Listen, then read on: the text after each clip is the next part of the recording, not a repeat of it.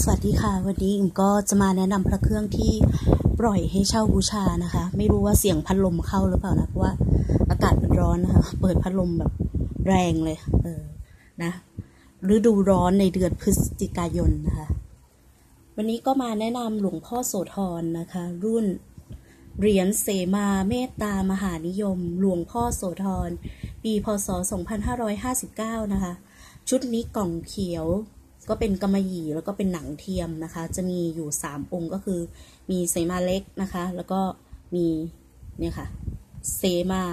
พิมพ์กลางนะคะน่าจะพิมพ์กลาง พิมพ์ปกติเนี่ยแหละเนาะเรียกไม่ถูกนะคะ เดี๋ยวเรามาดูทีละองค์ดีกว่า ดูองค์เล็กก่อนไหมเนาะโอ้โห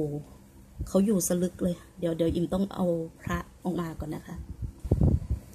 ก็องค์เล็กนะคะ องค์เล็กเป็นกระไหลทองสวยมากนะคะ ลักษณะก็คืออย่างนี้ หูตันนะคะ หูตัน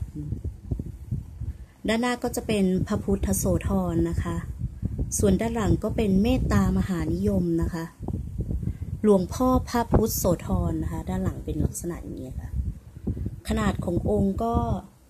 เทียบกับเหรียญสิบนะคะนี่เทียบกับเหรียญสิบก็เล็กกว่าเหรียญสิบไปนิดเดียวนะคะ เดี๋ยวเรามาดูอีกสององค์นะคะ ชุดนี้จะมีอยู่สามองค์ค่ะ ออกเมื่อปี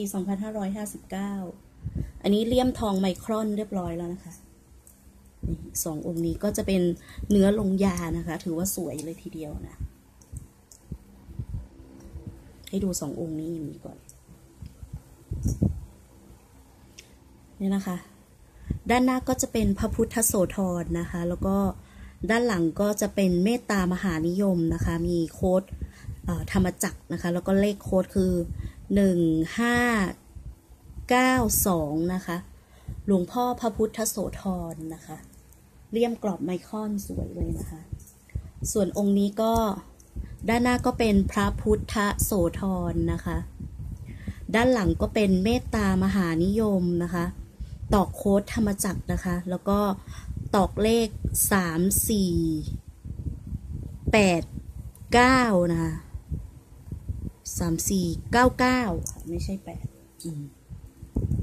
ดูยาก